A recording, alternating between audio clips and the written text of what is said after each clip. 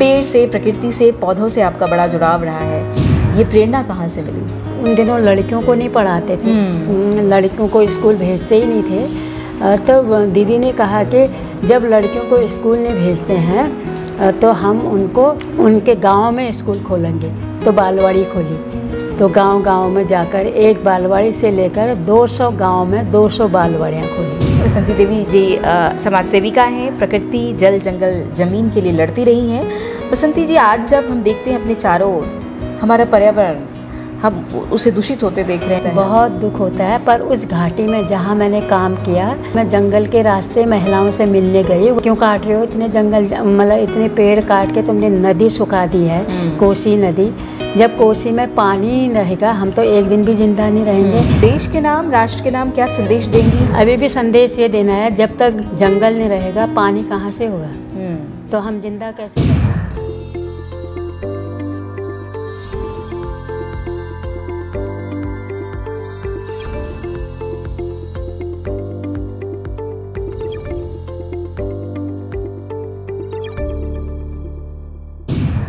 नमस्कार तो आइए स्वागत है हमारे इस नए एपिसोड में, जहाँ हम आ पहुँचे हैं उत्तराखंड के पिथौरागढ़। आज हम मुलाकात कर रहे हैं एक प्रसिद्ध समाज सेवी से। वो न केवल समाज सेवी हैं, बल्कि पर्यावरणविद भी हैं। पर्यावरण और प्रकृति को लेकर सतत प्रगतिशील भी हैं और नदियों को, पेड़ों को और तमाम प्रकृति से जुड़े जुड़ी चीज़ों को बचाने के लिए लगातार सतत प्रयासरत हैं। जी हाँ तो हम बातचीत कर रहे हैं। बसंती देवी जी से पद्मश्री सम्मानित हैं और साथ साथ सर्वोच्च नारी शक्ति सम्मान से भी सम्मानित की गई हैं। इनके अतुलनीय कार्य को देखते हुए देश विदेश में इनके कई सारे व्याख्यान आयोजित कराए गए हैं। पर्यावरण को लेकर इनके मॉडल को देश में फॉलो किया जा रहा है और प्रकृति और प्रेम के प्रति इनके अनन्य लगाव को देखते हुए कई मंचों से इन्हें सम्मानित भी किया गया है। तो आज हम बातचीत करते हैं इस अदम्य साहसी महिला से, कैसे, किस तरह इन्होंने पर्यावरण के साथ जुड़कर अपने देश, गाँव और समाज की रक्षा की और आगे लोगों में भी एक प्रेरणास्पद संदेश प्रेषित कर रही हैं। स्वागत है बसंती जी आपका। धन्यवाद आप लोगों को। आप अल्मोड़ा से हैं जन्मस्थल अल्मोड़ा रहा लेकिन आपने काम अ, किसी और डिस्ट्रिक्ट में मेरे ख्याल से दूसरे ज़िले में रहकर किया है। पेड़ से प्रकृति से पौधों से आपका बड़ा जुड़ाव रहा है। आपने अ, पेड़ के लिए जितना काम किया है शायद मुझे लगता है देश में किसी महिला ने इतना काम ना किया हो जो प्रेम आपके भीतर दिखता है। क्या ये बचपन से सब कुछ था? ये प्रेरणा कहाँ से मिली? ये प्रेरणा मेरी तो जब मैं बारह बारह साल की थी गाँव में तो शादी हो गई थी। उसके बाद तीन साल बाद वो लड़का ख़त्म हो गया। तो मैं वहाँ रहती थी। तो वहाँ रहने के बाद फिर एक बहन एक मेरे चाचा के भाई के लड़के आश्रम में रहती थी कौसानी में अल्मोड़े ज़िले में।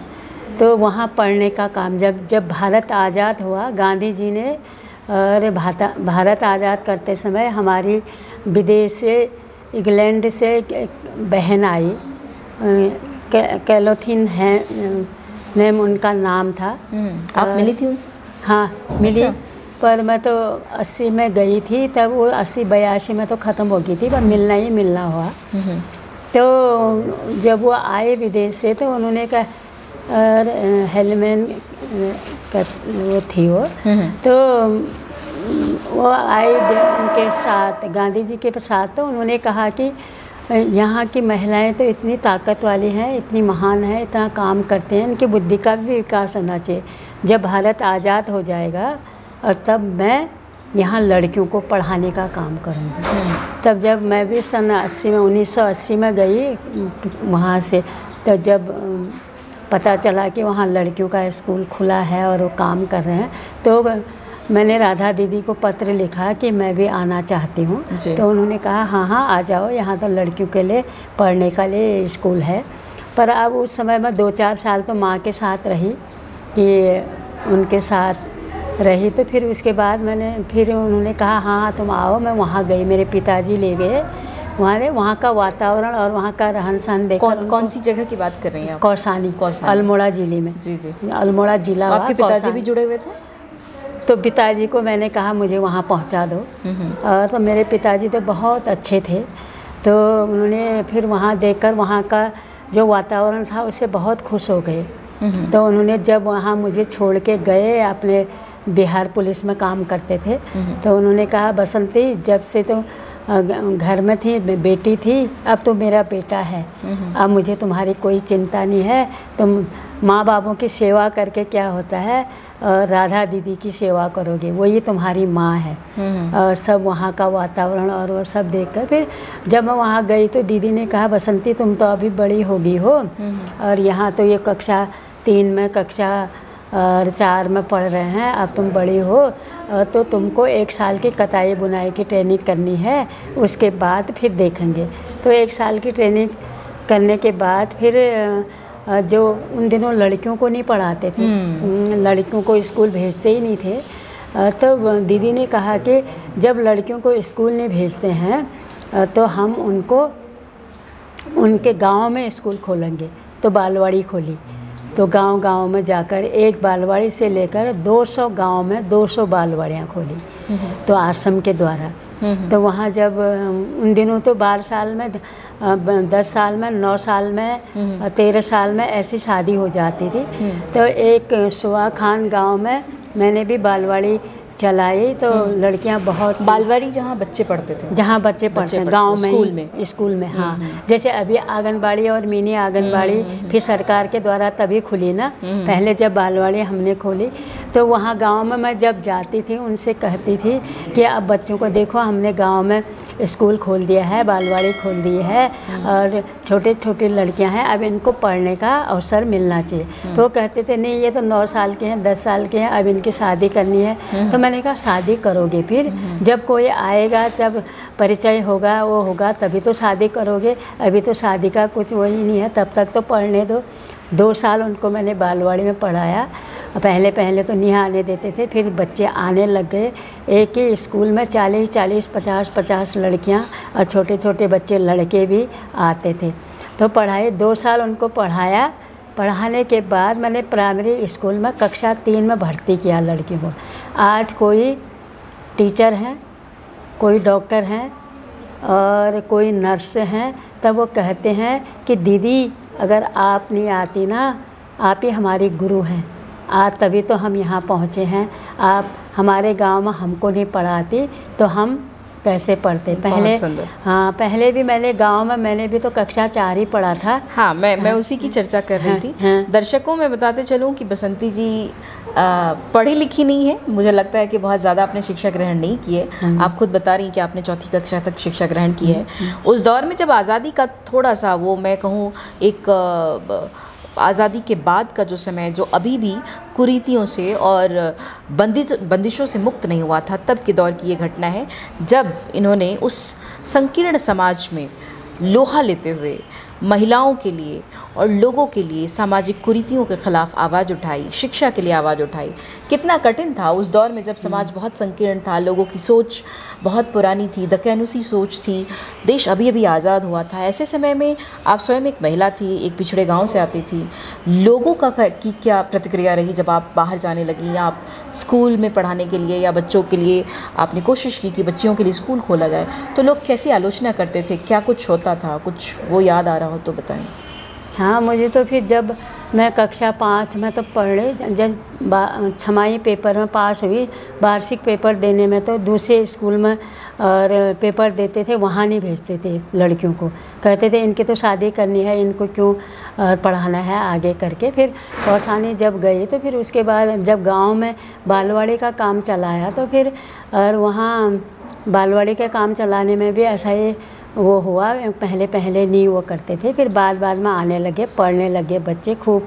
कहानी कविताएँ नाटक नाच गाना और पढ़ना लिखना सब वो करने लगे। जब साल भर में हम जब बालवाड़ी का और बा, बाल मेला करते थे तब डीएम एसडीएम और सब पुलिस वालों को और थानेदार वालों को सबको बुलाते थे और उनके माँ पिता लोगों को भी देखो कि बच्चे कितना पढ़ रहे हैं, क्या कर रहे हैं, कैसा कर रहे हैं। तो वहाँ वो करके तो जब मैं दनिया क्षेत्र में करती थी बालवाड़ी का काम तो 20 साल उसी इलाके में रही तो वहाँ महिला सशक्तिकरण के लिए भी वही काम किया मैंने। और महिलाओं को जागरूक करना, भाई लोगों को नशा मुक्त करना, लड़कियों, लड़कों को पढ़ाने का ये सब काम किया। फिर उसके बाद जब मैं बालवाड़ी का काम करती थी फिर मेरे पिताजी ने भी कहा है अब तुम पढ़ो तुम तुम्हारा मैं फॉर्म भर देता हूँ। कक्षा आठ का फॉर्म भरा मेरे पिताजी ने पिथौरागढ़ में। तो छः का सात का आठ का तो तीन साल मैंने पढ़ाई लिखाई की और फिर वहाँ मैंने पेपर दिए तो मैं पास हो गई आठवीं में। फिर हाई स्कूल किया। हाई स्कूल में भी पास सेकंड डिवीज़न आ गई। और अच्छा आपने फिर चौथी के बाद परीक्षाएँ पास की हाँ मैंने जब बच्चों को बालवाड़ी में पढ़ाती थी जो मेरा समय होता था हम्म। किताबें लाकर वो लाकर लिखना पढ़ना वो सब करने के बाद पेपर के लिए फिर वहाँ गई ना। हम्म। तो ऐसे किया। तो हाई स्कूल में सेकंड डिवीज़न आ गई। फिर उसके बाद इंटर किया। इंटर किया तो इंटर में दो नंबर से फेल हुई। और फिर मैंने कहा, अब क्या करना है? अब मैं तो इतनी बड़ी हो गई हूँ। अब मुझे कुछ नहीं करना है। तो मेरे साथ के जो पढ़, वो बालवाड़ी में काम करते थे तो वो कहने वाले, दीदी, नहीं, आपकी बुद्धि तो अच्छी है, आपके विचार अच्छे हैं, और आप दोबारा भरो। फिर दोबारा भरा तो फिर मैं इंटर में भी पास हो गई। वेरी गुड तो अ, सवाल ये बहुत अच्छी बात है आपकी जो ये शैक्षिक यात्रा रही है ये बहुत कंकरीले पथरीले रास्तों से होकर गुजरी है और आपने अंततः अपनी शिक्षा पूरी की है। लेकिन एक बहुत ही महत्वपूर्ण सवाल होता है जब हम बात करते हैं मैंने सुना है आप सामाजिक कुरीतियों के खिलाफ भी लड़ रही हैं। क्या क्या है वो कुरीतियाँ जिनके खिलाफ आवाज़ बुलंद कर रही हैं आज भी महिलाओं को संगठित कर रही हैं गाँव गाँव तक अपना संदेश पहुँचा रही हैं? कुछ उसके बारे में बताएँ। तो फिर उस समय फिर जब मैं दनिया क्षेत्र में काम करती थी बीस साल वहाँ काम किया।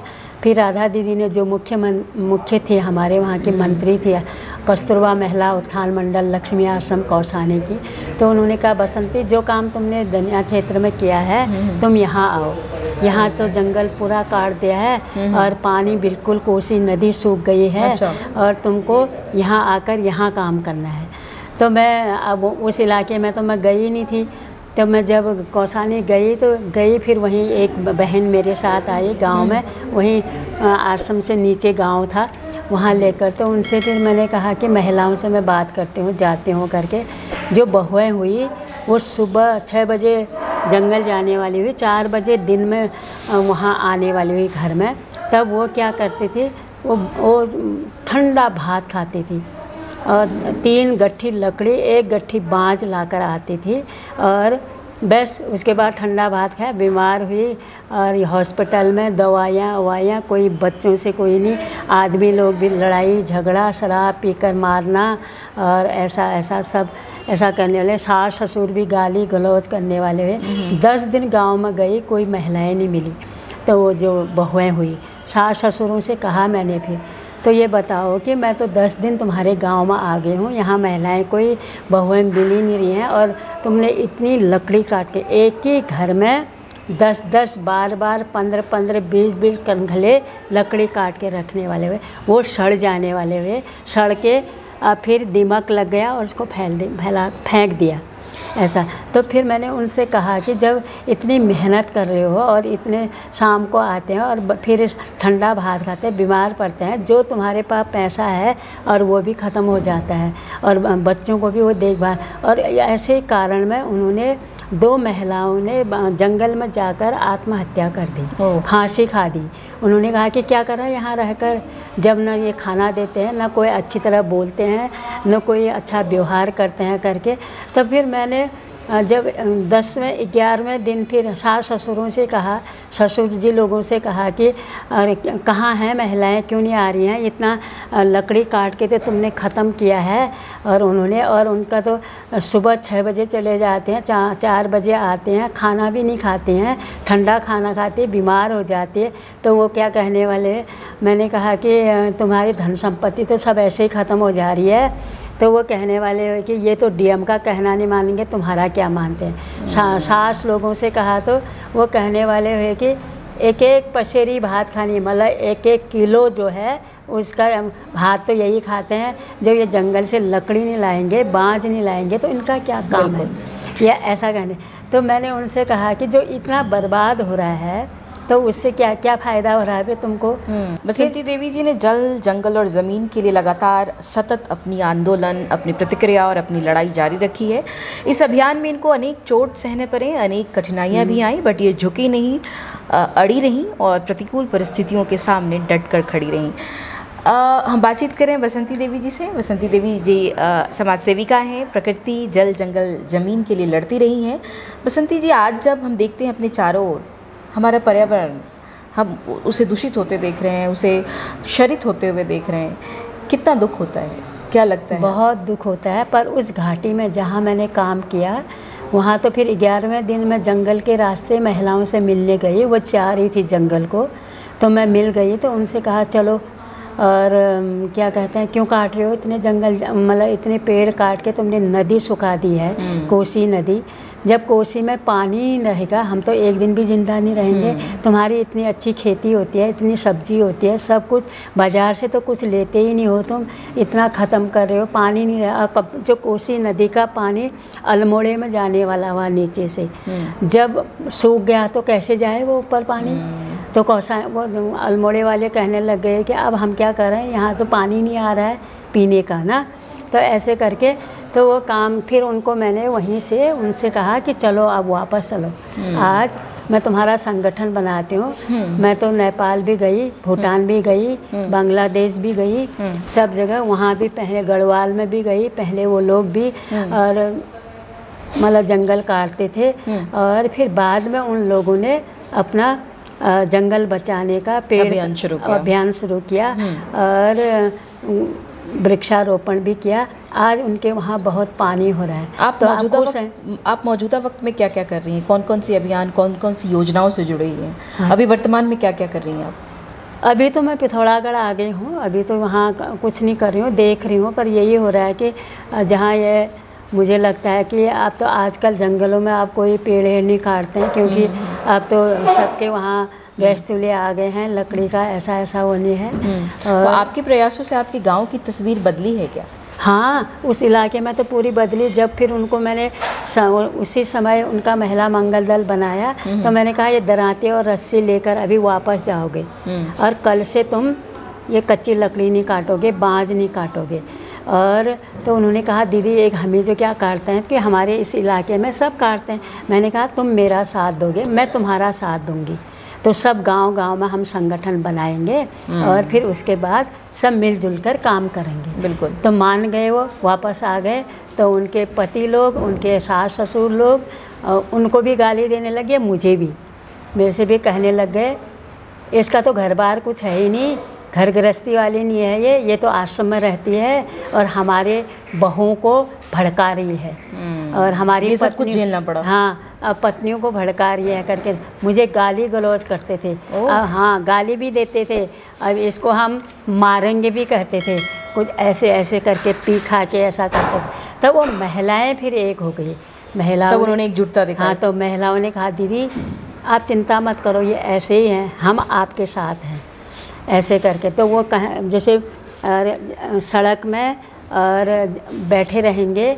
सड़क सड़क में जो वो हुआ दुकान हुई बैठे रहेंगे। बीड़ी पियेंगे सिगरेट पियेंगे और जुआ खेलेंगे और हाँ मतलब कोई उत्पादक काम नहीं करते हैं वो हाँ, कोई प्रगतिशील काम नहीं कर रहे हैं। हाँ तो देश देश में प्रकृति प्रेम और प्रकृति संरक्षण जल संरक्षण और तमाम प्रदूषण से जुड़े समस्याओं पे काम करने वाली बसंती जी को अपने जीवन में बहुत सारी कठिनाइयों का सामना करना पड़ा। कदम कदम पे आलोचनाएँ सहनी पड़ी और दुखों के पहाड़ से निकल कर भी इन्होंने अपने लिए एक नया अस्तित्व गढ़ा और एक नई कहानी गढ़ी और आज उसी चमचमाती कहानी को, की तस्वीर आज हम आपके सामने पेश कर रहे हैं। देश के नाम, राष्ट्र के नाम क्या संदेश देंगी? लोगों के नाम क्या संदेश देंगी? ताकि हमारा पर्यावरण, हमारी जंगल, हमारी ज़मीन और हमारा जो समूचा हमारी प्रकृति सुरक्षित रहे समूची प्रकृति सुरक्षित रहे इसके लिए क्या संदेश अभी भी संदेश ये देना है जब तक जंगल नहीं रहेगा पानी कहाँ से होगा हम्म। तो हम ज़िंदा कैसे रहेंगे और भाई लोगों से मैं कहती हूँ कि जब तुम उनसे मैं कहती थी जब दुकानों में आते थे हम्म। और बीड़ी सिगरेट और शराब और जुआ खेलते थे तो मैं उनसे कहती थी कि तुमको महिला पति पत्नी का रिश्ता बराबर है हम्म। काम भी बराबर है जितना सहयोग कर सकते हो उनको सहयोग करना चाहिए वो सुबह से शाम तक इतना काम करते हैं हम्म। और तो आप इस प्रकार के ऐसे उसमें रहते हो तो कैसे ये तुम्हारे जो बच्चे हैं वो क्या सीखेंगे हम्म। तो आगे की पीढ़ी क्या होगी ऐसे नशाई करोगे और ऐसे मार काटे करोगे लड़ाई झगड़ा करोगे तो हमारा उत्तराखंड देव भूमि हम्म। महान कैसे होगी वो तो बिल्कुल ऐसे हो जाएगी दूसरे दिन से फिर वो लोग मानने लग गए। जब मैं आऊँगी तो कहेंगे, अरे दीदी आ गई, दीदी आ गई। जब बीड़ी भी पियेंगे या कोई सिगरेट पी रहे हैं, कोई जुआ खेल रहे हैं, छोड़ देंगे, बैठ जाएँगे। तो मैंने कहा कि तुम अगर उनका साथ नहीं दे सकते हो बुढ़े बुढ़े लोग जो है तो मैंने कहा, कम से कम धार्मिक किताबें पढ़ो। कि अखबारें पढ़ो और जब तुम्हारे बच्चे स्कूल जाते हैं आते हैं तो उनके सामने विचार और अच्छे विचार करो अच्छी बातें करो प्रेम से रहो तभी तो वातावरण अच्छा बनेगा। तो दू, फिर दूसरे तीसरे दिन से वो अच्छे बन गए। ऐसे वातावरण अच्छा हो गया। तब वो कोसी नदी को जब वो किया था तो जब जंगल बचाया तो मैंने उन हमने फिर आश्रम के द्वारा दीदी ने भी कहा कि आपको हम हमको कौसानी से वहाँ से लेकर कोसी नदी से लेकर रामगढ़ तक रामगढ़ तक पद यात्रा करते हैं। पूरे इलाके में गढ़वाल वालों को भी बताया और कुमाऊँ वालों को भी सब जगह कि अपने अपने स्रोतों में नदियों में और यात्रा करके सब लोगों को बताओ कि पानी बचना चाहिए जंगल बचना चाहिए। ऐसे मैंने तो फिर जब वहाँ पर से आए हम कौसानी के वहाँ पर काटली से जहाँ से नदी का पानी आता है तो वहीं पर संकल्प मैंने कहा कि महिलाओं से संकल्प लो। कोसी माँ से कहो, माँ, आज तक तुमने हमको बचाया, हम अज्ञान थे, हमने तुमको मारा। अब हम माफ़ी चाहते हैं, आज से हम जंगल नहीं काटेंगे और बाँझ नहीं काटेंगे, हम मतलब चौड़ी पत्ती वाले, आपको बचाएँगे, आप हमको माफ़ कर दो, आगे अच्छा होगा। वो दिन है कि ये दिन है अब वो कभी कच्ची लकड़ी नहीं काटते हैं बाँझ नहीं काटते हैं। मैंने उनसे कहा तुमको जब ज़रूरत भी है लकड़ी का तो चीड़ का पेड़ काटेंगे। और वन विभाग से कहना है कि जंगल हमारा है गाँव हमारा है पानी हमारा है ज़मीन हमारी है तो आप तो आ, सरकारी कर्मचारी हो बचाना है जंगल को। तो चौड़ी पत्ती वाला जंगल हम बिल्कुल नहीं काटेंगे और बा जब हमको ज़रूरत होगी किसी का घर बन रहा है या किसी के जैसे शादी हो रही है तो लकड़ी चाहिए। अब उन दिनों तो लकड़ी का ये वो करने वाले हुए हैं ना सदुपयोग पहले पहले। तो उस समय हम आपको अप्लीकेशन देंगे। आपको पैसा नहीं देंगे अप्लीकेशन देंगे। तो हम वो पेड़ काटेंगे। बिल्कुल। तो ऐसा किया। तो इसी संदेश के साथ कि जल बचेंगे जंगल बचेंगे और ज़मीन बचेगी तो हमारी संतति बचेगी और हमारी संतति बचेगी तो हमारी धरती बची रहेगी और हम बचे रहेंगे। बसंती देवी जैसी महिलाएँ न केवल साधारण महिला है बल्कि एक जल मैं कहूँ जल योद्धा भी हैं, जो जंगल बचा रही हैं, अपने अपने स्तर से प्रकृति का का संरक्षण कर रही हैं पशु पौधों को बचा रही हैं पेड़ पक्षियों को बचा रही हैं और लगातार लोगों में एक सकारात्मक संदेश दे रही है कि धरती हमारी बची रहेगी तो हम बचे रहेंगे। इसी के साथ हम मिलते हैं किसी और एपिसोड में, किसी और पद्मश्री के साथ, किसी और विषय पे और बातचीत की श्रृंखला को आप तक पहुंचाते हैं अगले किसी और ख़ास व्यक्तित्व के साथ। तब तक हमें विदा करें। धन्यवाद। आपने हमें बहुत बहुत आपको बहुत बहुत धन्यवाद आपने हमें